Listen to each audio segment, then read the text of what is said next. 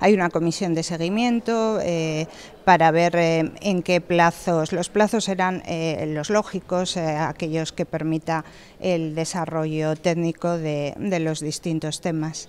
siempre hablamos de esta legislatura. Nos eh, referimos a la normativa en esta época de campaña electoral, ¿eh? No por otra circunstancia, bueno, para eh, evitar poder incurrir en algún aspecto que diera lugar a controversia y, teniendo en cuenta siempre lo que pudiera marcar al efecto la Junta Electoral.